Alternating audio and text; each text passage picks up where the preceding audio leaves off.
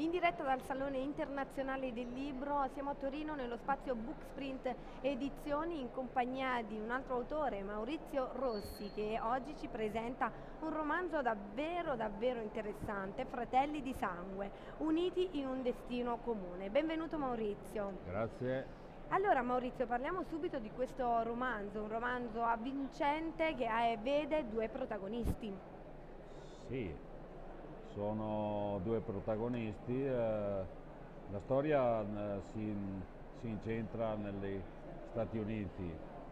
I due protagonisti sono un, eh, un ex militare, un ex marine della guerra del Vietnam che quando torna a casa ha qualche problema e un altro ragazzo che ha un'esperienza tragica, eh, cioè i suoi genitori vengono bruciati letteralmente da un rappresentante della legge del paese.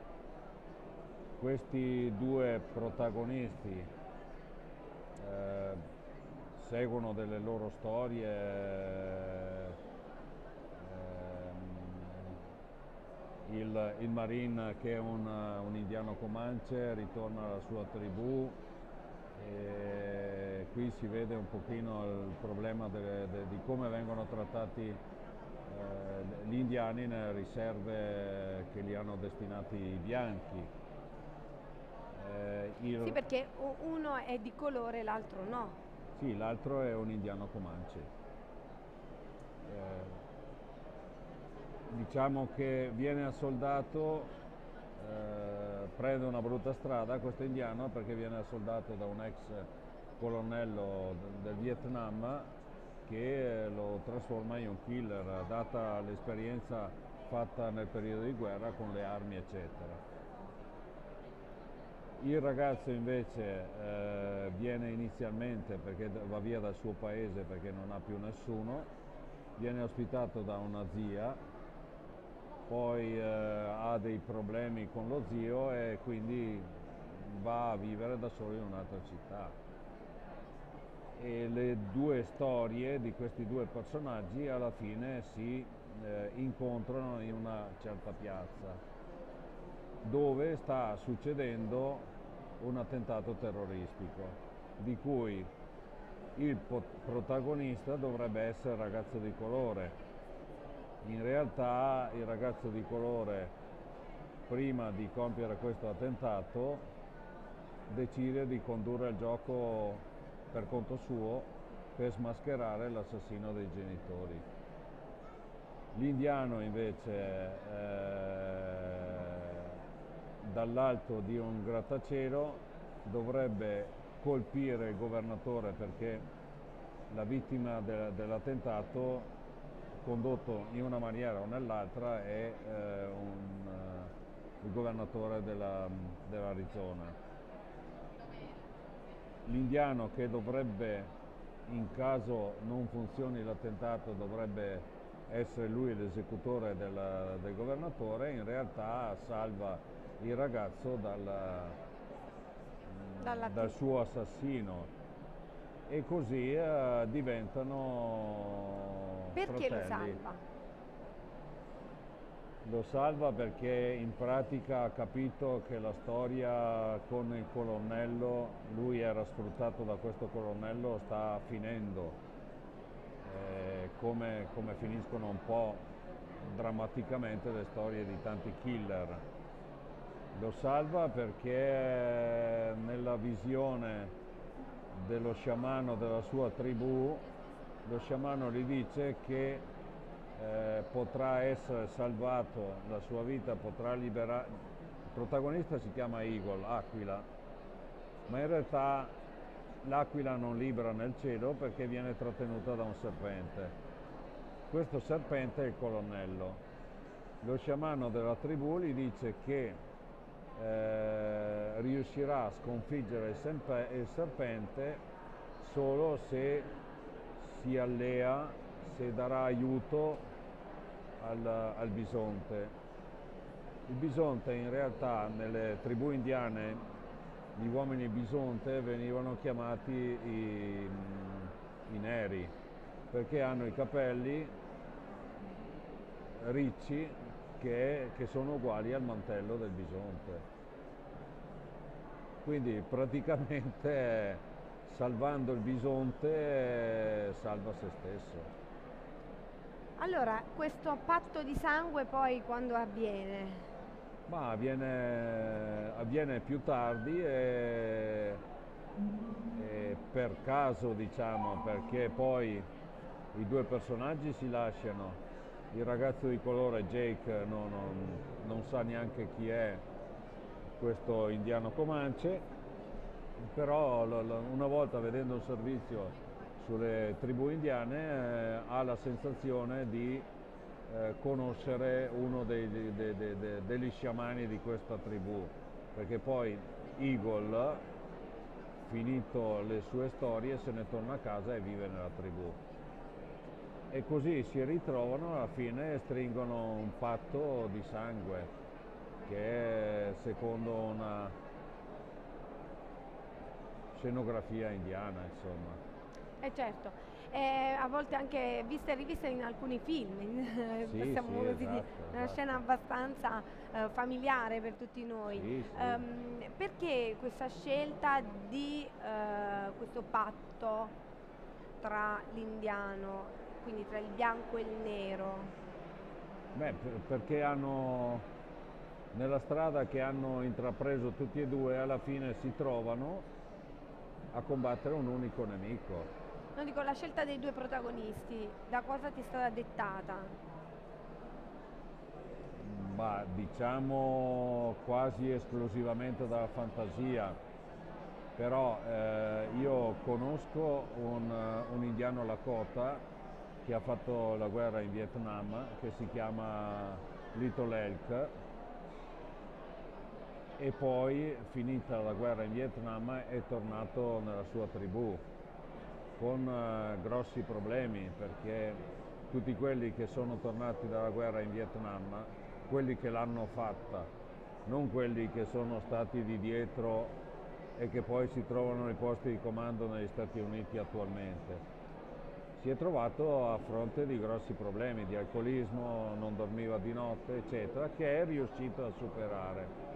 E da questo ho tratto un pochino la figura di Eagle anche se in realtà poi Eagle prende una strada completamente diversa, anche se lo fa per aiutare la sua tribù, però è una strada di morte che, che, che segue, anche se sfruttato dal colonnello, eccetera. Diciamo che è l'amicizia che vince sempre. Beh, in questo caso particolare sì. Vince sì, contro sì. ogni razza, contro ogni religione, contro ogni etnia, sì, contro ogni situazione. Sì questo è anche il messaggio forse del libro, forse anche il messaggio del libro. Beh, il messaggio è anche questo, che poi c'è un altro personaggio che è un fuoriuscito cubano, eh, Elia mette, questo fuoriuscito mette in risalto una situazione eh, dei cubani che sono scappati da, da, da, Cuba per andare soprattutto in Florida. Eh, poi... Eh... Comunque sono messaggi importanti. Qual è il lettore sì. ideale del libro? Ma il lettore del libro può essere un lettore di thriller, di eh, gialli, di thriller eh, non molto impegnati, che si eh, lasciano leggere velocemente, eh, cioè se facessi riferimento a me stesso potrei dire che il lettore di questo libro potrebbe essere uno che ha letto, che ha letto tutti i libri di John Grisham. E invece eh, in quanto tempo l'hai scritto? Ma ci ho messo tanto, eh, circa dieci anni, però Diciamo che la, la, la, parte preponderante del libro l'ho scritta l'anno scorso in Australia quando sono andato giù, sono rimasto un mese per la nascita del nipotino. Però eh, nel frattempo ho anche scoperto, siccome questo libro l'ho scritto tutto a mano, in, eh, parzialmente a mano inizialmente, Poi quando sono andato a trasformarlo sul computer è come se l'avessi rifatto.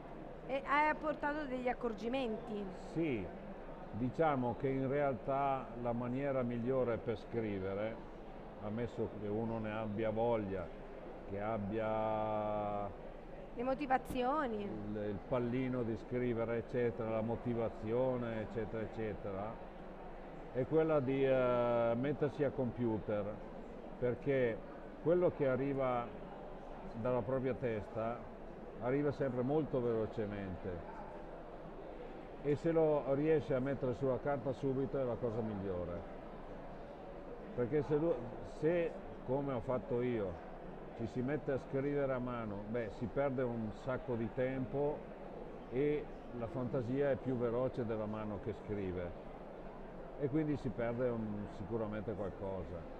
Quindi consigli il computer tu, Sì, sì, più veloce. sì, sì.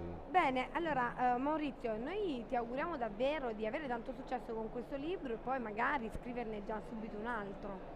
Siamo in elaborazione o ancora no? No, io ne sto scrivendo un altro. Sono già arrivato a una cinquantina di pagine che ho scritto nel giro di tre giorni. Adesso sto aspettando di maturare la fantasia e la motivazione per accoppiare a questa prima parte una seconda parte di storia. Per il momento leggete Fratelli di Sangue, uniti in un destino comune di Maurizio Rossi. Grazie per essere stato con noi. Grazie.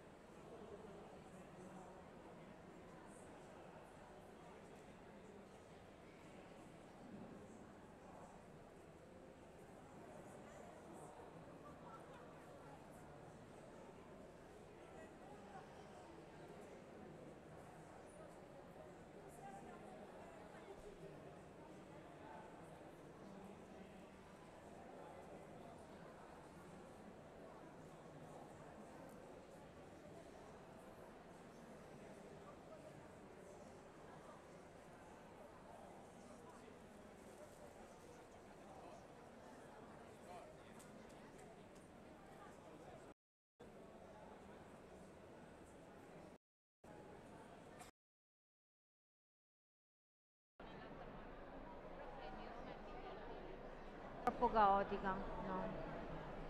Eh, Torino nonostante è una città, ma è una città tranquilla, la gente è molto più educata, mm, non lo so, è diverso, è diverso.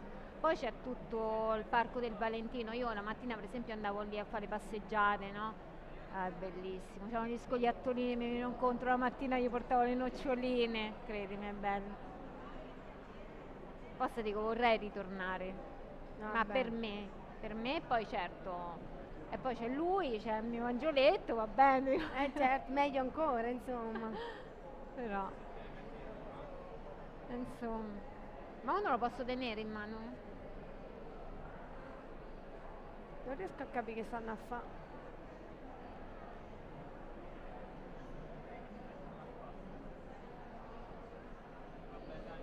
Infatti vedi? Eccoli.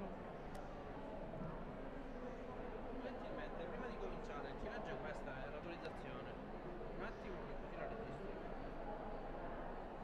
Sì, Allora io, Maria Vittoria Strappaferci, autorizzo la Book Sprint Edizioni alla ripresa della mia immagine e alla messa in onda del video.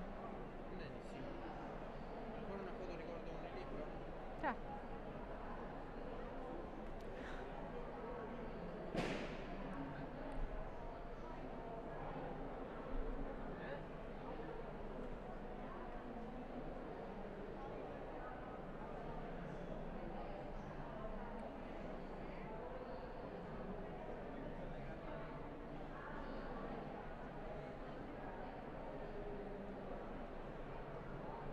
Sì?